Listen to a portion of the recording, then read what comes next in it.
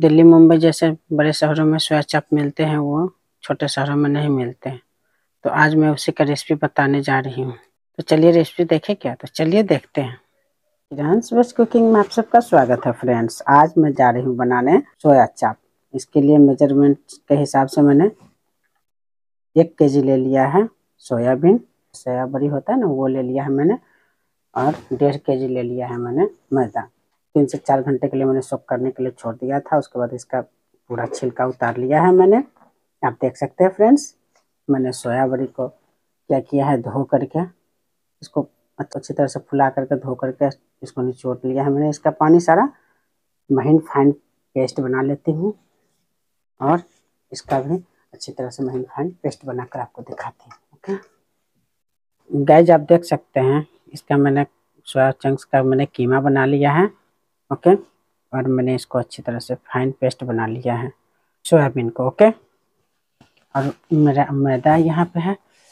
इसको पीसने में एक से डेढ़ लीटर हमारे इसमें पानी डला है। अच्छी तरह से मिक्स कर लेंगे फ्रेंड्स हाँ फ्रेंड्स आप किरन्स वेज कुकिंग को आप सब्सक्राइब करना बिल्कुल मत भूलिए फ्रेंड्स अगर मेरा वीडियोज़ अगर आप लोग को थोड़ा भी अच्छा लगे तो फ्रेंड्स आप लाइक कीजिए शेयर कीजिए एंड सब्सक्राइब कीजिए फ्रेंड्स सब्सक्राइब तो ज़रूर कीजिएगा फ्रेंड्स बहुत मेहनत लगता है फ्रेंड्स मैदा डाल डाल कर छिड़क छिड़क करके अच्छी तरह इसका डो बना लेंगे फ्रेंड्स ओके आप देख सकते हैं कि हमारे डो तैयार हो रहे हैं। इतना आसान नहीं है। कुकिंग चैनल पर काम कर लेना फ्रेंड्स बहुत मेहनत लगता है। आँखों की नींद दिल का चैन हो जाता है। एक एक सब्सक्राइब फ्रेंड्स बहुत मायने रखता है फ्रेंड्स फ्रेंड्स मैंने सोया चाप का डोर लगा लिया है। अब चलिए मैं इसको फ्रेंड्स इसको बड़ा बड़ा पेड़ा बना लेंगे।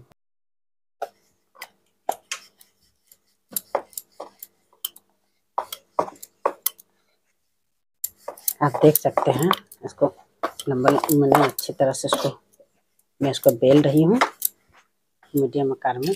कट लेंगे। अब फ्रेंड्स अब इसको कट कर लेंगे।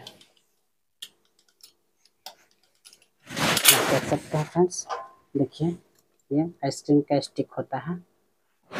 अब इसमें अच्छी तरह से रोल कर लेंगे फ्रेंड्स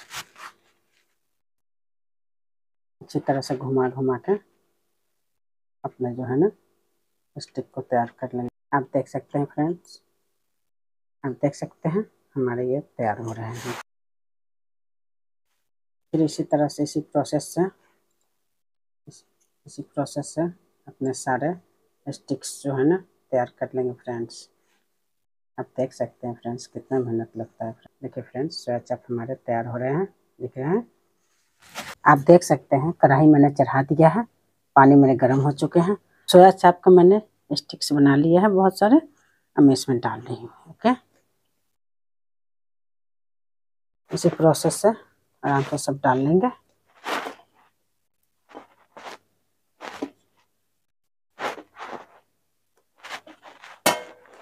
देखिए फ्रेंड्स देखिए आप देख सकते हैं कितनी अच्छी तरह से हमारे सोया चाप इसमें डल गए हैं और उसको अच्छी तरह से चला देंगे। तैयार है फ्रेंड्स हमारे सोया चाप मैंने गैस स्टोव पर बंद कर दिया है, हमारे सोया चाप तैयार है। अब इसको चिल्ड पानी में। चिल्ड वाटर लिया है, उसमें मैं डाल दूँगी।